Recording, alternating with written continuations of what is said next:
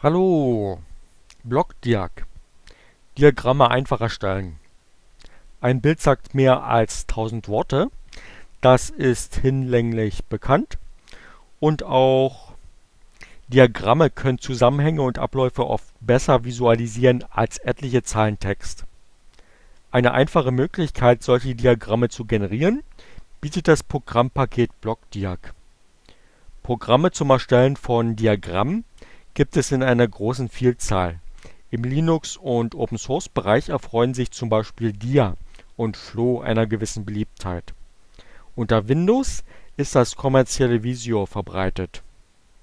Im Gegensatz zu diesen verfügt Blockdiag aber nicht über eine grafische Benutzeroberfläche, vielmehr wird das Diagramm in einer einfachen Textdatei beschrieben und dann mit Hilfe des Programms eine entsprechende Grafik oder ein PDF erstellt. Der Diagrammgenerator ist übrigens in Python geschrieben, womit der Nutzer jedoch bei der Anwendung nicht in Berührung kommt. Die Geschwister von Blockdiag Blockdiag bezeichnet zum einen das Programm zur Erstellung von Blockdiagrammen an sich, ist aber gleichzeitig auch der übergeordnete Name für die anderen Diagrammgeneratoren die zur Programmfamilie gehören.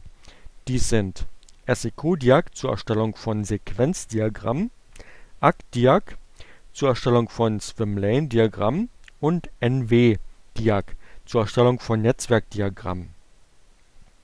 Jedes der Programme muss aber einzeln installiert werden. Installation Auch wenn BlockDiag unter manchen Distributionen über die Paketquellen installierbar ist unter Ubuntu ist das Paket Python-blockdiag ab Ubuntu 12.10 verfügbar. So empfiehlt es sich doch der für Python-Programme und Module gängige Weg über die Setup-Tools und easy-install, zumal so immer der aktuellste, die aktuellste stabile Version auf den Rechner gelangt. Der entsprechende Befehl lautet easy-install Leerzeichen blockdiag bei Fedora su Leerzeichen c Leerzeichen in Anführungszeichen easy unterstrich install Leerzeichen blockdiag.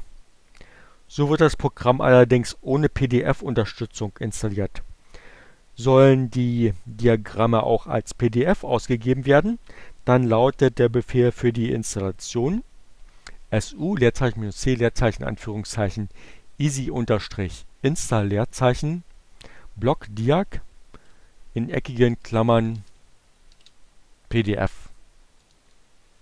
Enter und Passwort eingeben und dann warten, bis das Paket installiert ist. Hier ist es schon installiert. Außerdem müssen noch die Pakete WebColors installiert werden und es muss noch das Paket fun c parser lib installiert werden.